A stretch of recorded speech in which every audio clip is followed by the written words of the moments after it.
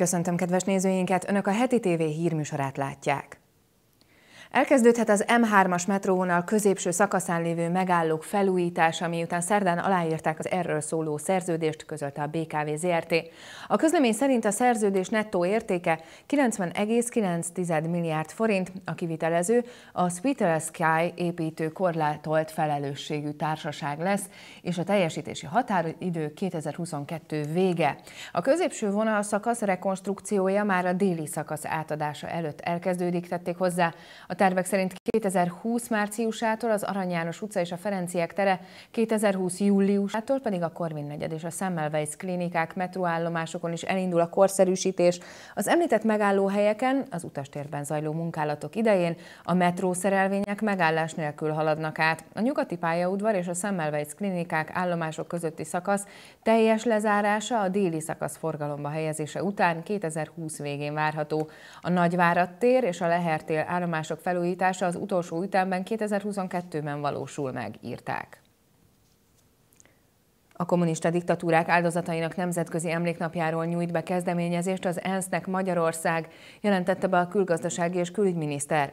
Szijjártó Péter a kezdeményezést azzal indokolta, a kommunista diktatúrák az emberiség közös történelmének tragikus részét képezik, nem csak a kioltott emberéletek száma miatt, hanem azért is, mert több millió ember tettek testileg és lelkileg tönkre tettek földönfutóvá, munkanélkülivé, vagy munkaképtelenné, illetve a nemzedékeket taszítottak jövőkép nélkül kilátástalan helyzetbe. Nem engedhetjük meg nemzetközi szinten sem a kommunisták által elkövetett bűncselekmények relativizálását, és nem engedhetünk nemzetközi szinten sem azoknak a visszataszító és gátlástalan kísérleteknek, amelyek egyfajta hamis nosztalgiát felhasználva történelemhamisítást próbálnak elkövetni, jelentette ki. A Demokratikus Koalíció DK arra szólította fel a kormányt, hogy a közgyógy ellátásra való jogosultság összegét a nyugdíjemelések arányában növelje. Dávid Ferenc közgazdász, a DK szakértője elmondta, közgyógyellátásra azok a nyugdíjasok jogosultak, akiknek a járandósága nem haladja meg a minimál nyugdíj 150%-át, vagyis havi 42.750 forintot. Hangsúlyozta, hogy a minimál nyugdíj már évek óta nem emelkedett, ezért a közgyógyellátásra való jogosultság szintje sem változik. A nyugdíjemelések miatt azonban ezrek vagy akár tízezrek is kieshetnek ebből az ellátásból, tette hozzá. Ezt a helyzetet rövid távon úgy lehetne megoldani, ha nyugdíjemelkedéssel azonos mértékben emelnék a közgyógyellátás határát, jelentette ki. A hosszú távú és átfogó megoldás az lenne, ha a legkisebb öregségi nyugdíjat emelnék fel 35-40 ezer forintra, mert akkor ennek a magasabb összegből számolnák a közgyógyellátási jogosultságot, érvelt a politikus. A határon túli autonómia ügyekkel foglalkozó miniszterelnöki megbízott szerint a 2010 utáni nemzetpolitikai intézkedések gyógyírként szolgáltak a 2004. december 5-i népszavazás mélysebére. Szili Katalina Magyarok Jogvédelme a Kárpát-medencében című háromnapos konferencia megnyitóján azt mondta, 2010 óta a határon túli magyarok magyar állampolgárságával, választójogával és az autonómia iránti igényükkel kapcsolatban már egyetértés van. A kormány a 2010 előttihez képest nagyságrend rendekkel több támogatásban részesíti a Kárpát-medencei magyarságot, valamint alaptörvénybe foglalta, hogy az anyaország felelősséget visel értük, hangsúlyozta. Vádat emeltek a májusi Dunai hajóbaleset ügyében a szállodahajó ukrán kapitánya ellen a vízi közlekedés halálos tömegszerencsétlenséget eredményező gondatlan veszélyeztetésének védsége és segítségnyújtás 35 rendbeli elmulasztásának büntette miatt, közölte a fővárosi főügyészség. Május 29-én a Viking Siegen szállodahajó Budapesten a Margit híd közelében nekiütközött a Hableány sétahajó hátsó részének, a kisebb hajót beforgatta maga elé, rövid ideig maga előtt tolta, majd lenyomta a víz alá. A hableány elsüllyedt. A sétahajón 35-en utaztak, 33 délkorai turista és a kéttagú magyar személyzet. Hét korai turistát sikerült kimenteni, 27 áldozat holtestét találták a hatóságok, egyet még keresnek. A budapesti 6. és 7. kerületi ügyészség közleménye szerint a 64 éves ukrán kapitány figyelmetlen volt, percekig nem a hajó vezetésére koncentrált, nem tartotta meg a biztonságos távolságot, és nem adta le az előzéshez szükséges rádió és hangjelzést. A vádlott emellett nem tett eleget az adott helyzetben tőle elvárható segítségnyújtási kötelezettségének, írták. A vádhatóság azt indítványozta, hogy a bíróság ítélje 9 év börtönre a férfit, és 9 évre tiltsa el a vízi járművezetéstől abban az esetben, ha az előkészítő ülésen beismeri bűnösségét és lemond a tárgyaláshoz való jogáról, áll a közleményben. Külpolitikai híreink éghajlat és környezeti vészhelyzetet bejelentő állásfoglalást fogadott el az Európai Parlament. Az állásfoglalás szerint az EP képviselők azt várják az Európai Bizottságtól, hogy minden jogalkotási és költségvetési javaslata álljon összhangban azzal a céllal, hogy a globális felmelegedés ne haladja meg a másfél Celsius fokot. A vészhelyzet az EP szerint Európában és világszerte egyaránt fennáll. Állásfoglalásban az EP arra szólította fel az Uniós Bizottságot, hogy az ENSZ éghajlatváltozási konferenciája számára nyújtson be olyan stratégiát, amely alkalmas arra, hogy a lehető leghamarabb, de legkésőbb 2050-re megvalósuljon az éghajlat semlegesség. A képviselők az Európai Bizottság új testületének elnökét, Ursula von der Leyen-t arra kérték, hogy ez a program tartalmazza azt a célértéket, miszerint 2030-ig 55%-os kibocsátás csökkenést kívánnak elérni. Eredményes a német szövetségi kormány menekültügyi politikája, az utóbbi években hozott intézkedések jelentős és igen kedvező hatással jártak, hangsúlyozta Horst Seehofer belügyminiszter.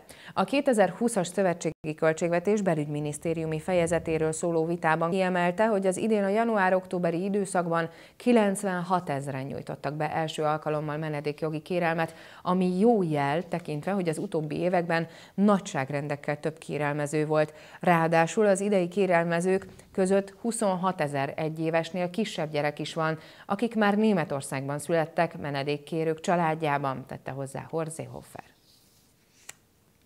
Törökország az észak-szíriai kurd milícia fenyegetését tartalmazó védelmi terv jóváhagyása nélkül nem támogatja a NATO többi védelmi tervét, köztük a napirenden lévő, a balti térségre és Lengyelországra vonatkozót sem, írta a Hürriyet Daily News.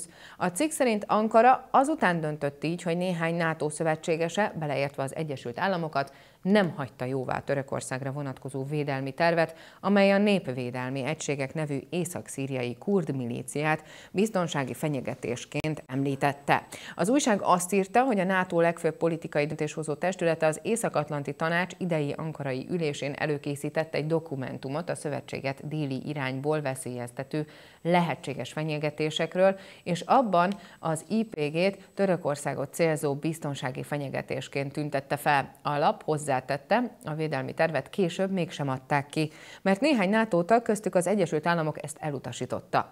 A Hürriyet Daily News megjegyezte, hogy ha a terv megjelent volna, az IPG először szerepelt volna biztonsági fenyegetésként NATO dokumentumban.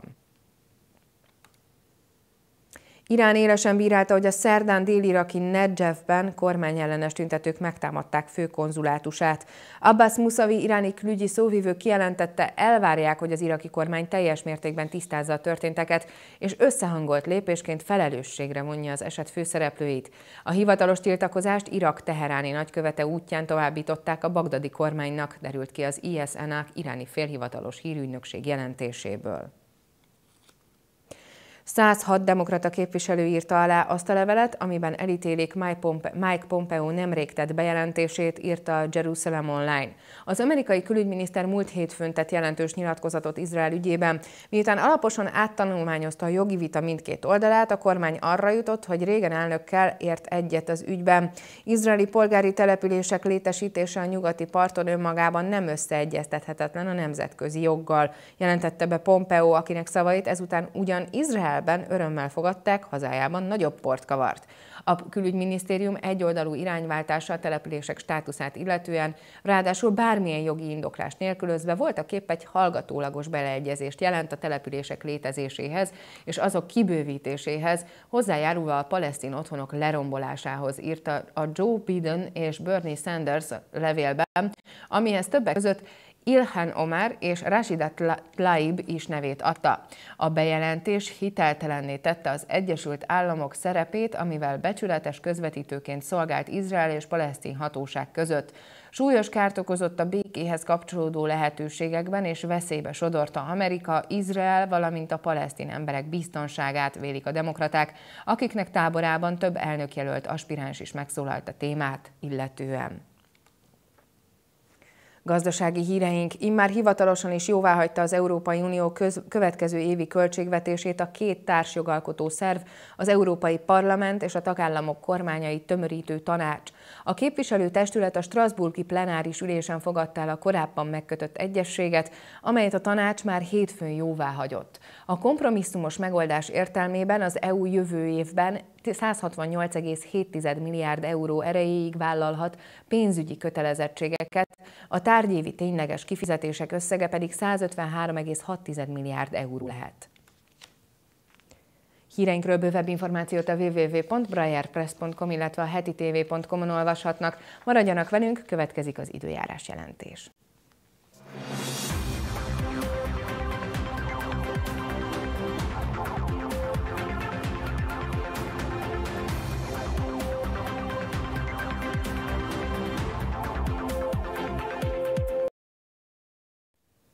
Szombaton megerősödő északnyugati széllel hidegebb levedő áramlik hazánk térségébe, változékony időjárású napra van kilátás, átmeneti napos és erősebben felhős időszakokkal.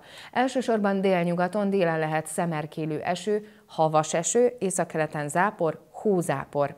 A jellemző hőmérséklet átlaga szombat reggel délnyugaton 3-5, északon 1-3, napközben 2-6 fok körül alakul. Köszönöm figyelmüket, legyen szép hétvégéjük, a viszontlátásra!